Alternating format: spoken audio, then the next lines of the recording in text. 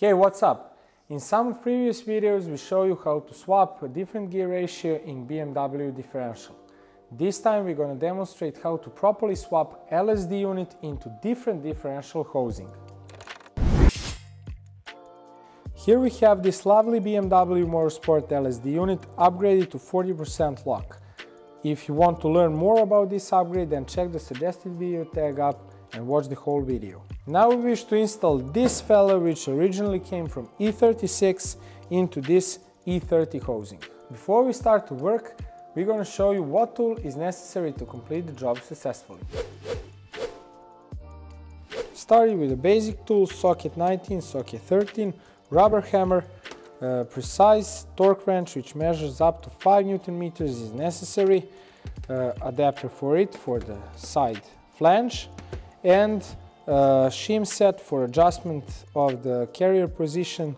Uh, this and the adapter can be purchased from our web shop, the link is in the description, and at the end screw adhesive as a must. That's about it. The key point is to determine the overall thickness of side shims or adjustment shims as you want to call them uh, because you have the new carrier unit in the old housing. Uh, these shims dictates the preload and position on the carrier unit, which is important for the normal functionality of the differential. Uh, you know what these are for.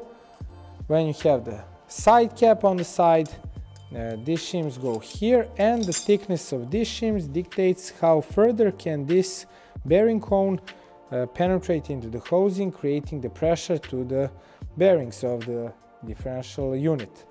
Uh, so overall thickness sum of the thickness of the, this right shim and left shim uh, will dictate the preload on the unit and this is the key point to adjust first. We like to start the procedure from the thinnest shims, uh, increasing the thickness of the shim step by step. So starting with 1.1 and 1 millimeter from our set. Uh, also key point is uh, to lubricate the bearing cones well because otherwise you will have uh, you will have wrong measuring. And to measure uh, preload on the side bearings only without affecting any other any other things uh, like crown gear and the pinion resistance. Remove the crown gear from the carrier unit and like this put it inside with thinnest shims to see what happens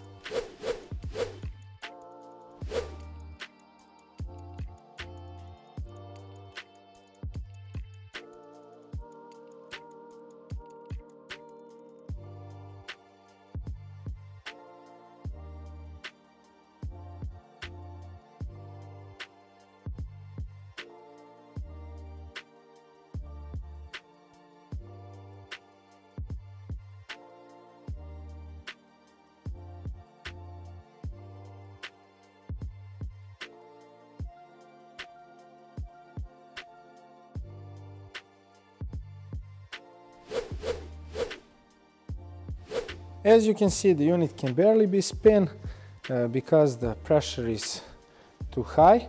So uh, shims are too thin, allowing the side caps to penetrate further, creating additional pressure on the bearings.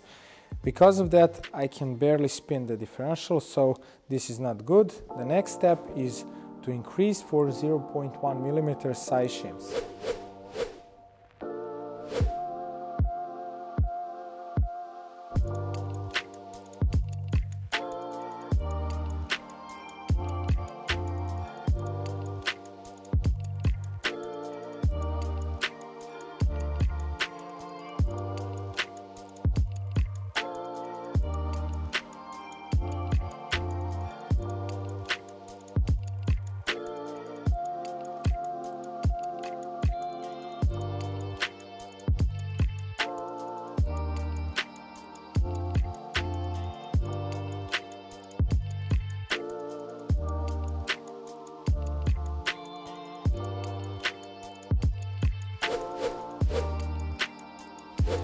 So this feels better, but uh, still not good enough uh, to be measured.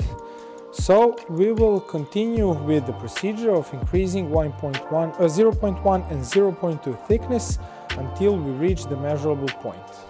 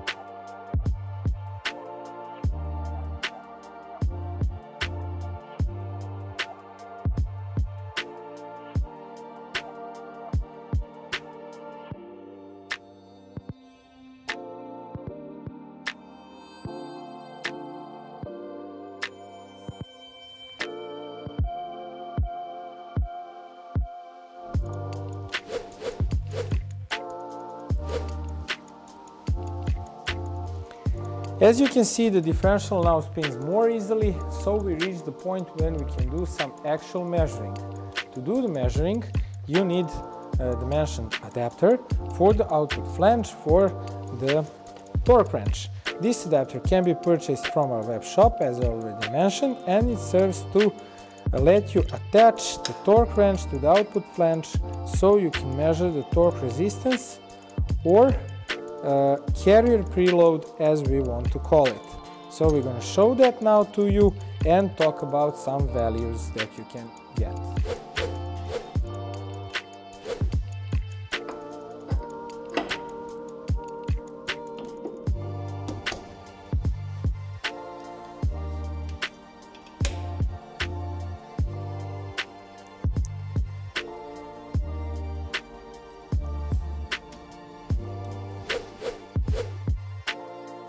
What you should aim for as a perfect result is 0.5 Newton meters. Not 5, 0.5. Maybe sounds too small, but it is the perfect amount of preloads to keep differential from moving left or right, and yet to allow it to spin easily as we showed you previously. So if you have less than 0.5, then you should decrease overall thickness. If you have more than 0.5, you should increase overall thickness of side shims.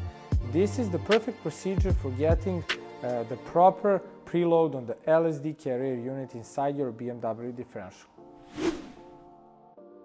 Once you can set a preload on the carrier unit, you should set the gear patch and the backlash. Since we already done a video on that topic, we won't be showing it in this one. If you want to see complete video on the gear patch and the backlash, check this suggested video right here. If you want to see how to upgrade the LSD unit with the stage 1 pack, then check this video. And if you want to see how to completely overhaul the differential from E30 with bearing change, oil seal change and everything else, then check this video right here. Also, don't forget to subscribe to our channel, click on the button right here, as more tutorial videos are about to come.